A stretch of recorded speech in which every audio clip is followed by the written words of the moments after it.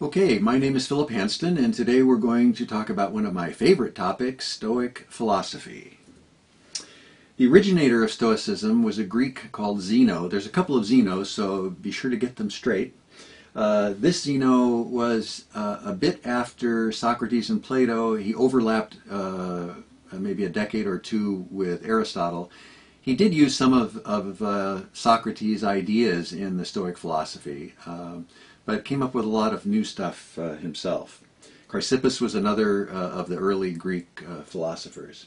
This is the Stoa, uh, which uh, when I was in Athens, uh, I was very excited about that they had just found where the, the Stoa was, which is, it's a painted colonnade, and this is the, where the term Stoicism came from, or the Stoic philosophy. So needless to say, it's at a rudimentary level of excavation, but I'm hopeful that they will continue to do that. There's a difference between the Greek and the Roman Stoics. Uh, the Greek Stoics writings, uh, most of them are gone. They're only referred to by other people. Uh, they were more theoretical. They were interested in physics and, and logic and that kind of thing. Ethics too, but they were, they uh, focused a lot on the, the physics part of their philosophy. Whereas the Roman Stoics, the people that we're going to be talking about, uh, were much more into ethics and and really how to live your life, uh, which is really the, the value that Stoic philosophy has for us today. The influence of Stoicism is widespread, even uh, still today.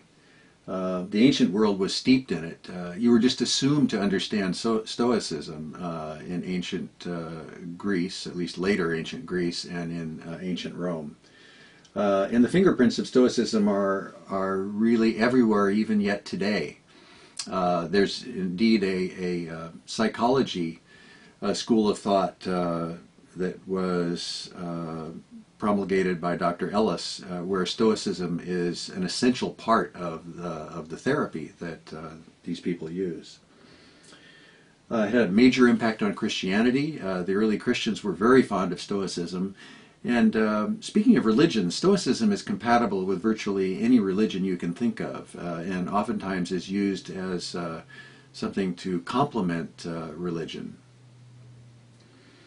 In the past, uh, most philosophy uh, classes uh, talked about Stoicism and also Epicureanism and skepticism and those types of schools of thought, um, but they're they're not real complicated. And I think that's you know how we professors love stuff that's arcane and complicated. I don't know if that's the reason, but uh, today, if you look in philosophy departments, uh, there's not a lot of focus on, uh, in most of them at least, on uh, Stoic philosophy. Seneca was one of the early uh, philosophers, and uh, Seneca wrote a number of, of books. this is the Penguin version. Um, there are collection, various kinds of collections of, of books uh, by Seneca. Letters from a Stoic uh, by Seneca, also very interesting. Um, that's that has become more popular of late, actually. So uh, lots of writings from Seneca in a variety of, of different kinds of compilations. Uh, Seneca was born in Spain, uh, of in nobility. he was a statesman in Rome. He then traveled to Rome and was a statesman and an orator. Um, he was exi exiled. Uh, he was accused of adultery with the uh, the emperor's sister. Uh, it may well not have been true. It doesn't really fit very much with uh, Seneca's uh, method of behavior, but uh, nonetheless, he was exiled. Came back to Rome, and then he realized how bad things were, and he really tried to get out of of being involved with Nero and and uh, being involved as a statesman, but uh, Nero wouldn't let him stop. So uh, he was later then accused of, of treachery or treason against Nero, and probably falsely again, and um, had was forced to commit suicide. And uh, the accounts of his suicide show actually are, are a good example of uh, the value of Stoicism in, under uh, that kind of duress. Epictetus was another uh, of the Stoics. Uh, again, his books are uh, are the discourses, and we'll talk about this later, and also a sort of a Cliff Notes version, which is uh, the Enchiridion. Uh, Epictetus uh, was born in Hierapolis, which is in, in current day Turkey. If you've ever been to the Pamukkale, where those beautiful calcium rich structures that where the water was full of calcium and made these beautiful white structures in the streams, that's where you were. Uh, Epictetus went to, to uh, Rome as a slave. So here he is at the opposite end of the socioeconomic spectrum from Seneca. Seneca was very wealthy and a nobleman. Uh, Epictetus was a slave. So uh, Stoicism really appealed to uh, people at, uh, at all levels. Oh, and he also studied under Musonius Rufus, who is, was one of the famous Roman Stoic teachers. Uh, he lived a life of great simplicity. Uh, again, uh, he didn't have much money and he didn't care about money. Uh, some of the other Stoics uh, were quite the opposite. And here's, here's one that's quite the opposite. One of the most remarkable humans that has ever lived, Marcus Aurelius, uh, a, the best example of a philosopher king than, that most people can come up with. a remarkable individual. He was the emperor of Rome. Uh, during the time that he was a uh, Stoic. Uh, here's a bust of him. Uh, it's in remarkably good shape because uh, it was buried in mud for millennia before they discovered it. Um, he was born to an upper class family, like Seneca was in Rome. He was orphaned early, but then adopted by another noble family. Um, he had some of the best tutors in Rome, and here again, um, like Epictetus and like Seneca, uh, he was uh, he was given the Roman, uh, or I'm sorry, the, the Stoic philosophy at a very early age, and was really marinated in Stoicism. So I think that is one of the reasons why they were so effective later on in life in being able to apply Stoic principles to their uh, lives he married Faustina, and uh, they had five children. The only one that survived was this terrible guy, uh, Commodus. And if you saw the movie Gladiator, um, it actually in the movie, a little poetic license there, they had Commodus killing Marcus Aurelius. That didn't happen. Marcus Aurelius died uh, of an infection, uh, probably. But uh, nonetheless, the way they depicted Commodus as being a complete uh, miscreant was in fact the case. Uh, when the emperor died, uh, Marcus Aurelius became uh, emperor at the age of 40, and he had very bad timing because things had been going along swimmingly for Rome for quite a while, uh, fairly peaceful, uh, at least in the in Rome itself. Uh, and everything went to hell in a handbasket when Marcus. Thank goodness he was a committed Stoic because somebody else might have had more difficulty.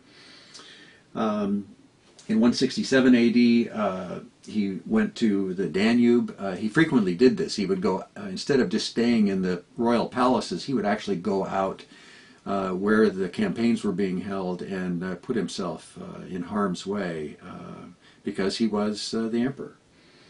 That again is a, a stoic sort of approach to life. Uh, and while in these melancholy swamps of the Danube uh, with the fog and the cold, uh, he kept uh, he wrote meditations which was really a journal uh, sort of reminders to himself about stoic philosophy. And the intent was at least uh, apparently the intent was that this would be destroyed when he died. But thank goodness uh, that was not the case so um, he died in camp in uh, 180 AD probably as I said of an infection and his dying words were weep not for me Think rather of the pestilence and deaths of so many others. So, again, a typical uh, Stoic response. Now, who was it that said power corrupts and absolute power corrupts absolutely?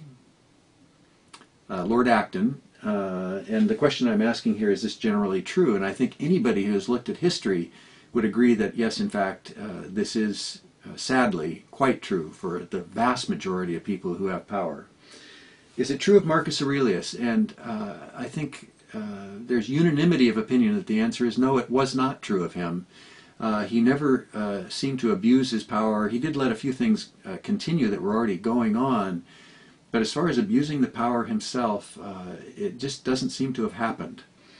And he ran across, I mean, he dealt with people with equanimity, even people that were against him. uh, that he could have had uh, immediately executed, and he didn't do that. So what I'd like to do now is uh, go through some of the uh, essential Stoic tenets. What is it that the Stoics were promulgating, and why is it that it's so useful uh, to those of us today, uh, 2,000 years later? One of, one of their tenets was realistic expectations about life. You have to have realistic expectations about what life is going to offer you. Uh, the art of living is more like wrestling than dancing, said Marcus Aurelius, and what he meant by this is not pessimism but realism. The Stoics were not pessimists. They, they get a bum rap that, uh, oh, they're just a bunch of, of pessimists that don't allow anybody to have any emotions and you just have to kind of curl up and, and just take what comes. And that's uh, not at all the case. Um, but it is true that you have to have realistic expectations about what life is going to. It's not that life is bad, it's just a, that you need to be realistic about uh, what's going to happen. Uh, this is a Far Side cartoon. Uh, I don't know if this will show up very well on your um, on your screen, but uh, God is throwing a number of things. There's the world there in the middle, and He's putting a lot of stuff: birds and insects, and and light-skinned people and dark-skinned people, etc. And this little jar that he, he's sprinkling on the earth right now uh, jerks, and his little thought bubble says, "And just to make it interesting." So. Um, the jerks are out there. There's no question about it. And one of the things that uh, that all of the Stoics did, as far as I know, uh, I know certainly Marcus Aurelius and Epictetus and Seneca did this. Uh, what was called meditation in advance. And this is a quote from Marcus Aurelius Begin each day by telling yourself, Today I shall be meeting with interference, ingratitude, insolence, disloyalty, ill will, and selfishness all of them due to the offender's ignorance of what is good and evil. Uh, and this harkens back, this ignorance of what is good and evil harkens back to Socrates, who felt that uh, people didn't knowingly do bad things to other people. It was ignorance that caused them to do this. I'm not sure I agree with that completely, but that was his uh, proposal. So if you start each day, and I, I, can tell you I do do this, especially if I'm going to be driving or traveling, um, I have disciplined myself to do this, and it is enormously useful. Because when that first person uh, cuts you off intentionally or does something uh, really nasty, instead of immediately getting angry, I immediately say, "Ah, Epictetus was right. Um, you should expect that uh, that all of these things are going to happen to you in any given day." And then when they do, instead of getting angry, you start thinking about Epictetus. It's it's a very useful uh, way of solving that problem. Just like this juvenile bald eagle, uh, who all he wanted to do was wander around the tide flats and look for things to eat. Uh, and you have this jerk of a crow, uh, no doubt a male crow, I don't think female crows would do something stupid like this, uh, picking at his tail feathers for no reason whatsoever. He wasn't trying to get the food, he was just doing it because he could. And out of camera shot here, there were three or four of his male crow friends who were uh, egging him on and saying, "Come on, come on, you can do it. Just go take, see if you can get one of his tail feathers." So the eagle needs to. He eventually, by the way, I took this picture, and then he eventually did turn around and scare the crow away, but he couldn't get around fast enough to actually get the crow. So even eagles need uh, stoicism or stoic training. Resigned acceptance of fate. This is uh, also an enormously useful uh, approach. You have to accept that things uh, are going to go well for you or poorly for you, and many times this is just something that happens. It's not something that you have orchestrated, either good or bad. What happens to you is a strand in the tapestry of primordial causation. They believed in this. Stoics believed in this. That uh, there was a, a lot, many things that happened were preordained by fate. Uh, whether it's true or not, it certainly does give one uh, a more it gives one more equanimity in, in uh, dealing with life. The good man's only singularity lies in his approving welcome to every experience that the looms of fate may weave for him.